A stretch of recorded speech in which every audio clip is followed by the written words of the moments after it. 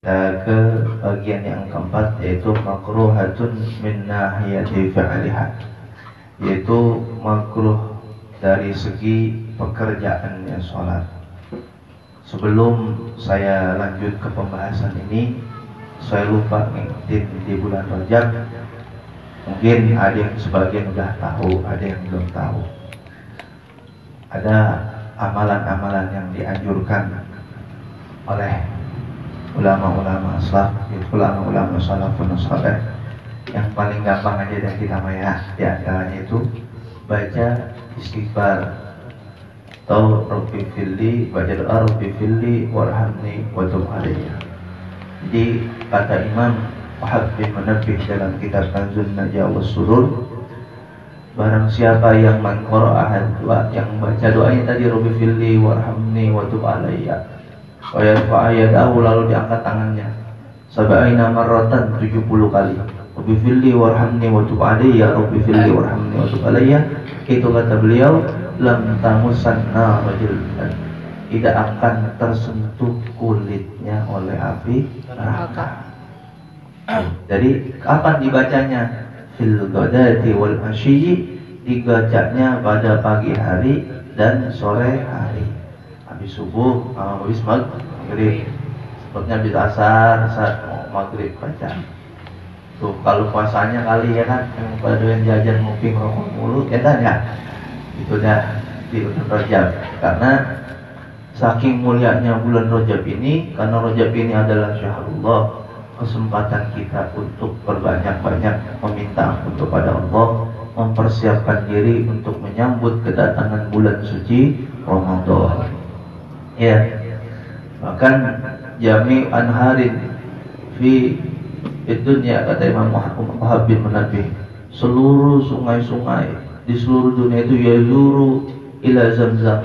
Semua berziarah ke sumur zamzam itu.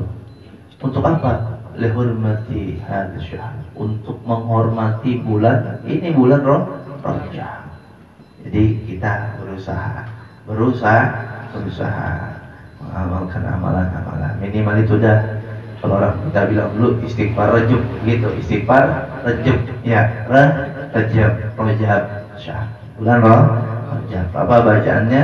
Rabbi fili warhamni wa tub Rabbi fili warhamni 70 kali tangannya diangkat. Rabbi fili warhamni wa tub Rabbi fili warhamni wa tub Rabbi fili warhamni wa tub alayya. Bentaran, agak lama. Ya kan paling berapa menit dua menit paling 70 kali doang. Iya kalau main PUBG berapa setengah jam tuh berasa kan. Kalau biar amalan doa istighfar wirid ya kan. Lima menit eh mana kaki udah gatel pantat udah kayak di bawahnya duri. Eh gitu. eh paham? Ini bulan.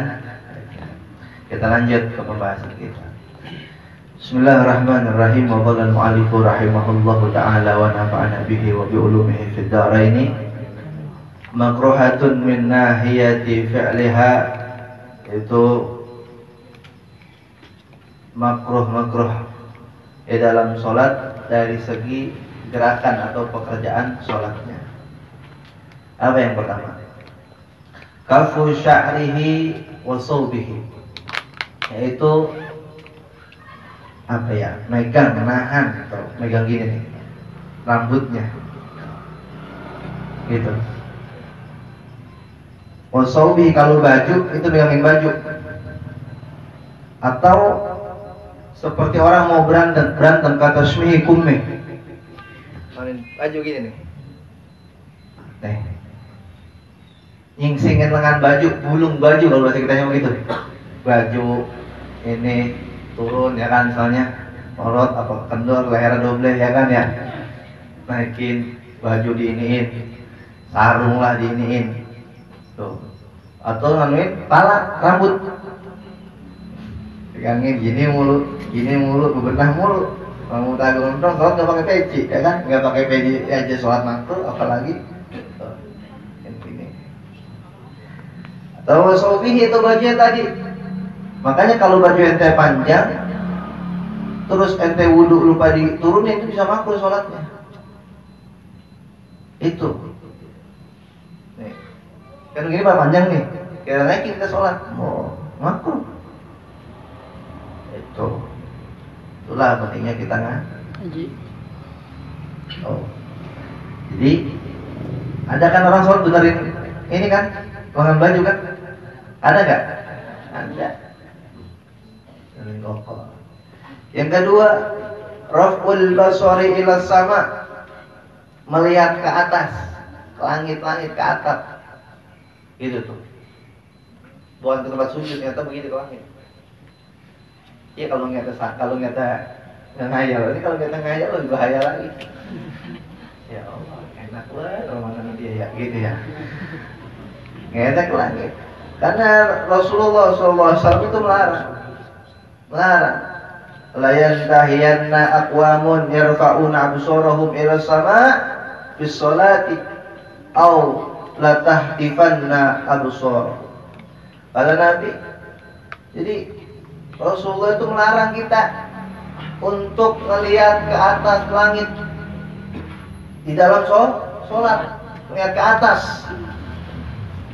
Sampai-sampai di peringatan dikasih peringatan takzir dikasih peringatan buat kita itu lataftinan latahtifanna absor kalau sampai kita tidak nggak ngerti jangan ada sholat ke atas.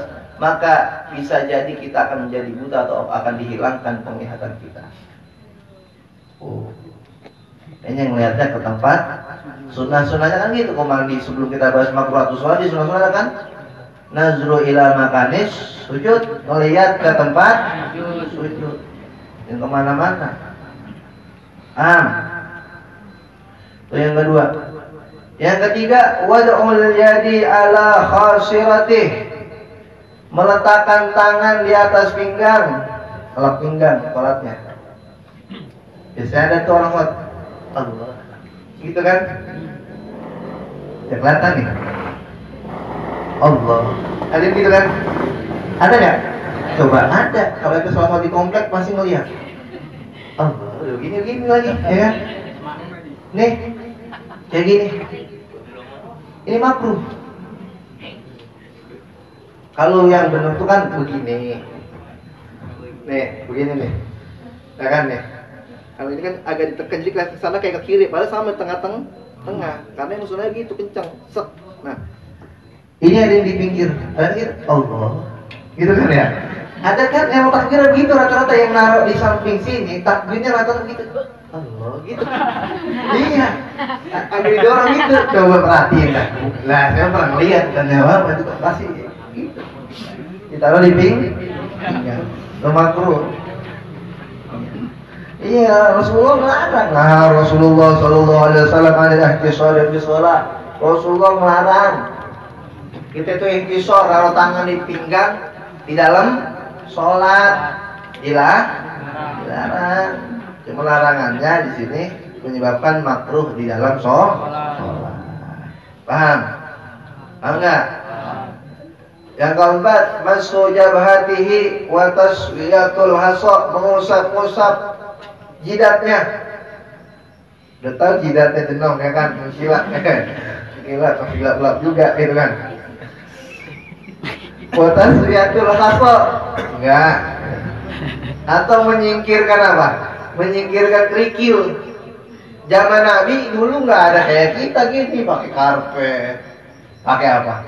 Pakai udah dicor udah di keramik pakai maror apalagi adem ya. Zaman Nabi enggak. Alasan pakai pelotak kurma jadi banyak debu-debu banyak pasir.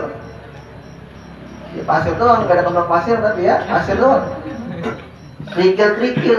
Iya kalau sujud-sujud nah itu kadang-kadang disuka nyingkir-nyingkir biar bersih. Itu makruh. Iya kita aswiyatul hasofi mahal sujud makruh. Ya mana? Yang kelima An-nakru fi sujudi kal burabi. Sujudnya itu nukik mematuk seperti gagak. Nukik pakai jidat atas itu. Bagaimana tuh? Jadi hidungnya nggak nempel. Kalau hidung nggak nempel mah makruh kemarin kan? Ya kan? Eh, ini nih pakai pala nih. Ya, pala musiman kalian gitu kan dibentuk enak begitu ya. Coba dah.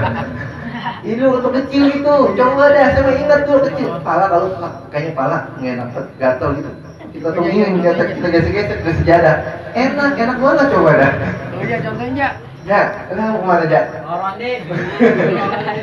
Itu nyundut. Iklan, iklan tronton lewat, ya kan? Takut disuruh contohin dia. Nah, biarin, kita mau mau kamar mandi, biarin. Nah, tuh itu. Kayak pak kayak kayak gagak matok gimana sih? Gitu. Tahu gagak nggak? Tahu gagak nggak? Burung yang warnanya hitam. Binatang itu. Tuh gagak.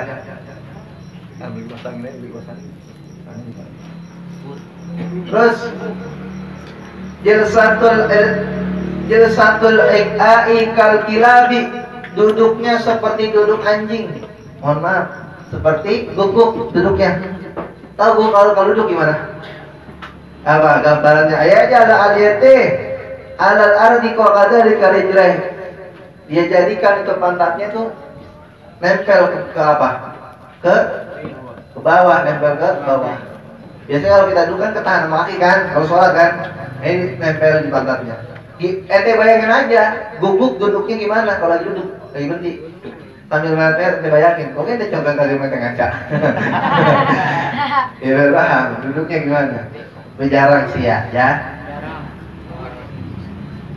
Terus yang ketujuh, al-julusu mada rijlahil kiblah. Duduk membentangkan kakinya menghadap kiblat, kelentang. Kalau buat sholat sunnah kan nggak apa-apa sholat duduk, cuman pahalanya separuh. Kalau sholat sunnah, kita nggak sakit nggak apa mau sholat sunnah duduk nggak apa-apa. Cuman nggak boleh duduknya itu telentang, telentang, selonjor, ke selonjor, ya kan? Kakinya begini nih, tuh, Paham? Begini sholatnya nih, nggak boleh nih, nggak boleh, nggak boleh. Itu. Ini sholat sunnah nggak apa-apa, itu sholat dulu nggak apa-apa. Cuman pahalanya nggak seperti sholat wah. Maka nak fi'lan karena aksara qawlan. Iya. Terus al-iltifatu biwajhi hajatin. Nengok wajahnya tanpa adanya hajat. Nggak ada apa-apa. Nengok, nengok, nengok, nengok. Makanya Nabi bilang, nah Rasulullah iltifat. Rasulullah itu melarang di dalam suatu iltifat nengok-nengok. Kalau yang nengok ininya doang, mukanya nggak batal, cuma makruh. Yang lagi ada hajat, yang nggak ada hajat, yang nggak ada hal-hal penting, yang urgent. Tapi kalau nengoknya begini, itu batal. Kalau nengoknya cuma muka, itu makruh. Tapi kalau nengoknya begini, memalingkan milik ke dari kiblat, bah, batal. Paham? Bedain. Iltifat. Nah, waktu itu kan pernah dibahas di, di Waibul itu kitab ada tuh.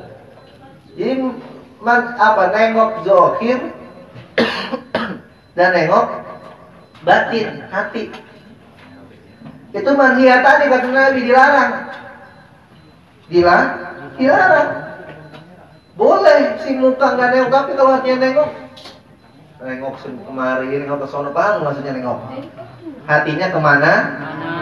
Mana? Sholat. Ininya nggak nengok zahirnya, tapi hatinya neng, nengok. Nengok ke mana? Nengok ke mana biasanya kalau hati? Nah, ke A, AA yang nengok, nengoknya yang nengok. Kalau AA nengoknya ke eh eh ya kan ya keneng keneng mikirin Iya, kalau kata bodong, sabarkanlah, ikhlaskanlah. Jika dia bukan jodohmu, maka dia akan berpaling darimu. Iya, jodoh. Iya, kalau kalau cuma kalau bodong doanya maksa kadang-kadang. Guru boleh nggak doa begini, doa bagaimana? Guru, saya pengen ya Allah. Kalau emang dia jodoh saya ya Allah, dekatkan dia dengan saya. Permudah rezeki saya untuk menikahkan dia. Nah, kalau kalau emang bukan jodoh saya, gimana nih caranya Allah menjadi jodoh saya? Gitu. Jadi yang indah itu, yang nikmat itu mengikuti takdir Allah. Terima dong, terima aja dong udah, gak usah maksa, gitu. terima aja. Yang penting kita udah usaha. Nah, Iya, Ustaz belum kawin-kawin, nah yang belum kawin-kawin mengapa? Ya kan ya? Itu. Akhirnya begitu, ya kan? Sebelum ditanya, tanya dulu, ya kan? Nah, saya itu mas, Al-iltifat, tengok tuh. Yang kesembilan, al-basku meludah fi masjid pada selain masjid, tempat selain masjid. Kita lagi sholat di luar, di naik gunung misalnya mau sholat atau lagi di hutan atau di emperan lagi sholat selain masjid atau mau sholat ya. Terus pengen berudah an yumnau au kubulatahu nengoknya eh, meludahnya ke depan atau ke kanan. Itu makruh. Kalau kita ngaji Fatul Mu'in dalam di luar sholat juga adabnya itu kita meludah ke kiri. Kaki kiri. Jangan ke depan atau ke kanan. Kira orang Ustaz? Kan? Nggak ada, baru boleh. Gitu. Tapi ini kalau dalam keadaan sholat di luar kita pengen buang ludah, takut ada makanan yang nyangkut kalau kita telan buangnya ini selain masjid ya awas tadi masjid ludah lagi yang ada selain masjid nih kalau ada di luar dan ludah ada makanan nyelip atau telan atau ada darah atau ya cabai-cabai dan nyangkut gitu ya Nah itu ludahnya kaki kiri. Paham? Gak boleh ke depan, gak boleh ke kanan. Sama kita mau buang udah juga lagi di luar lagi lagi ngapa-ngapain lagi sholat. Buang kiri kaki itu ada itu ah ada. Cuma dulu kita menjauh-jauhan ludah kan ya? Coba waktu kecil. Kalau ayo Sampai nyampe gitu kan. Katanya atau Dragon Ball gitu Dragon Ball ya? Ada ada Itulah masa kan kecil Anak sekarang gak ada yang begitu gak ada yang tahu. Anak dulu ketahuan Yome Yome Karena sekarang ya Allah. Nah yang ke sepuluh. Al-Qiyamu ala ridin wahidatin. Dirinya pakai satu kaki. Diri pakai satu kaki. Ya yang dulu kalau musola tuh waktu kecil kan jangan kuat-kuatan diri satu kaki gitu ya. Senggol dikit jatuh gitu. Ya gitulah emang ya namanya zaman jahiliyah ya kan enggak.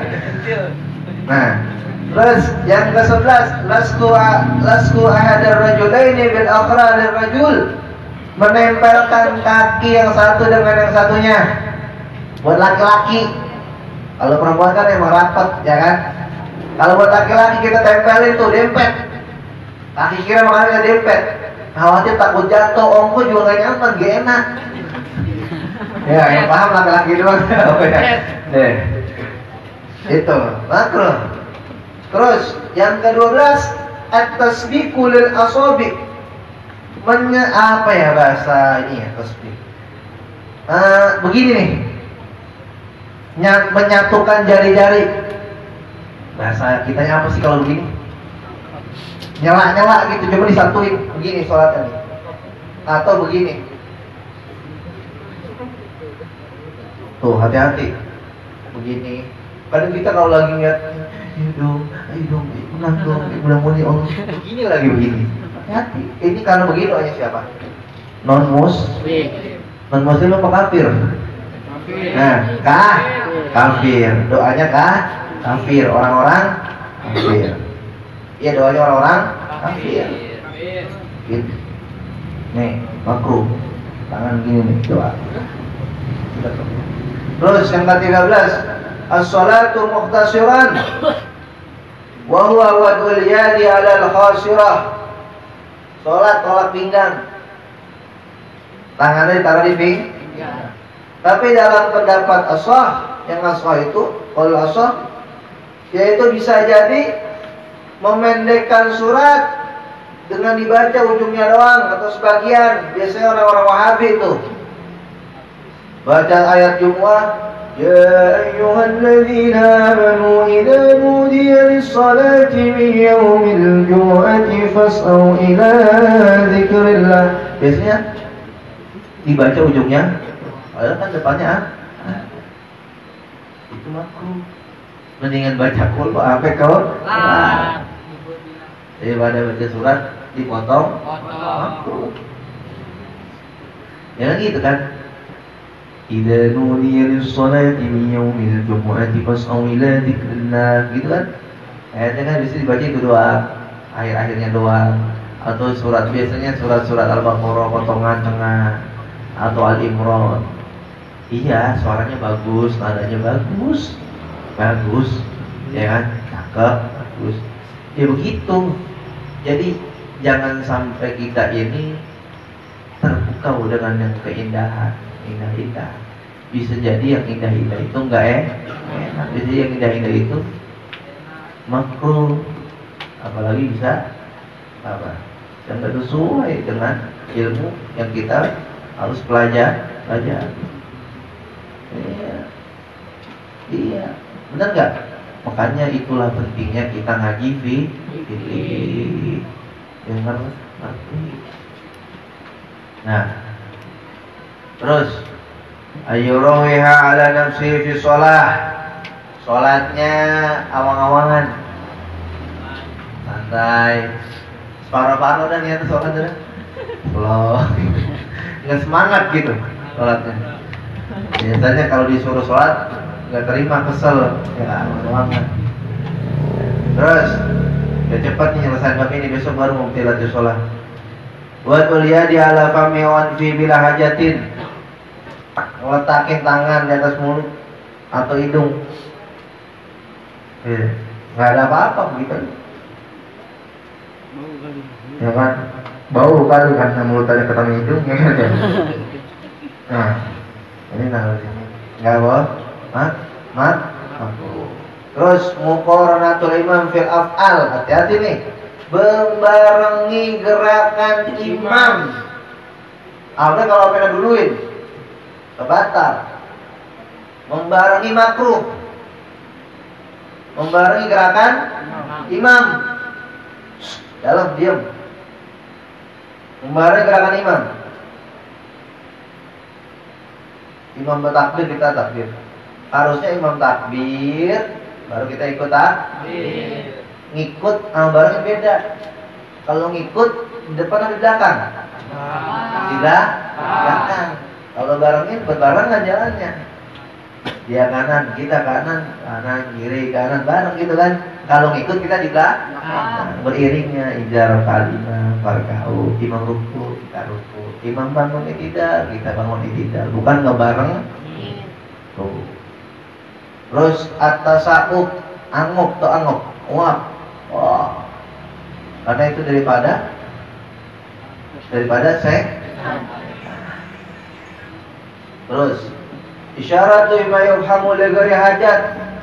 Ngasih isyarat karena nggak ada hajat. Kalau orang lewat kita boleh begini kan? Ini nggak ada apa-apa kita ngasih isyarat. Gitu nggak ada apa-apa. Terus farqatul aswabi kalau bahasa kitanya bertekin tangan. Hati-hati. Kalau sekali nggak apa-apa. Tapi kalau berputar satu, dua, tiga, empat, bisa bang? Batal. Biasa sering tuh bertekin tangan, sholat. Lagi nungguin yang baca. Hati-hati. Kalau ini ikut dua-duanya, kalau cuma cari doang, Kalau ikut dua-duanya, bertek-bertek kita begini. Kalau gimana ya? Nah, lagi sholat, ada kalau setan di bawah setan. Nggak boleh karena kita tuh sedang menghadap yang maha raja yang maha kuat. Gimana sih kalau kita nggak ada raja? Nggak ada orang yang alim nggak ada guru kita gitu. Nggak ada presiden gitu ya. Terus al isnadu ila mayaskutu disukuti sholatnya bersandar kepada sesuatu yang bakal rubuh dan dia ikut ruh ruku retek cuma disandera di sholat saja itu ikut ruku gitu. Dah itulah makruhatus sholat min nahiyati liha. Makruh makruh sholat dari segi pekerjaannya baru muktilatus sholat wallahu alam. Sholat al-fatihah Terus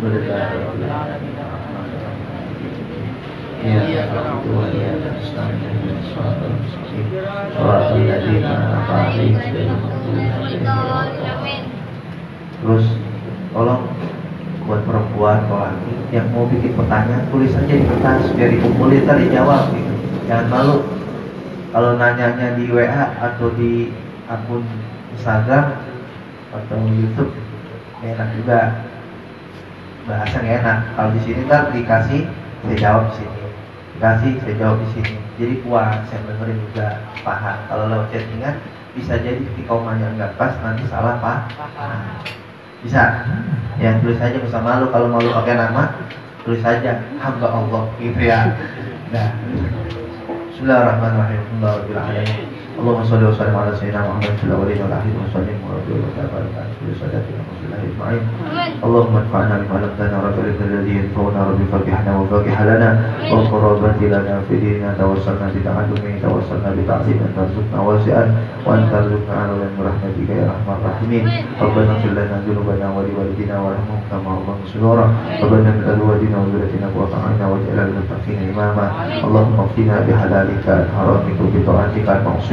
بيدك ومن فضلك عمن سواك. اللهم نسألك الهدى والتقى والعفاف والغنى. اللهم اغفنا هم الدنيا وعذاب الآخرة. اللهم أسنا كبتنا في الأمور كلها وجرنا من الدنيا وعذاب الآخرة. اللهم إنا نسألك العفو والعافية. والمعافاة دائما في الدين والدنيا والآخرة لنا ولوالدينا ولسائر المسلمين والمسلمات برحمتك يا ارحم الراحمين ربنا آتنا من لدنك رحمة وهب لنا من رشدا ربنا آتنا في الدنيا حسنة وفي الآخرة حسنة وقنا عذاب النار وصلى الله على سيدنا محمد النبي الأمي وعلى آله وصحبه وسلم سبحان ربك رب العزة عما يصفون وسلام على المرسلين والحمد لله رب العالمين وبنا mohon maaf Allahumma waffiq ila Wassalamualaikum warahmatullahi wabarakatuh ya rabbana بأننا ترفنا وأننا أصرفنا للغى أشرفنا فتب علينا توبة تغسل لكل هوبة واستر لنا اللورات وآمن الروات واغفر لوالدينا ربي ونور دينا والآل والإخوان وسائر الخلال. وكل ذي محبة أو جيرة والمسلمين أجمع آمين ربي اسمع. فضلا وجودا منا. بالمصطفى رسول نعظى بكل صالح صلى وسلم ربي عليه أنت الحبيب وعليه وصحبه داد تأسيس به والحمد لله في البدء والثناء. حمدا كثيرا دائما محبة النسائي آمين.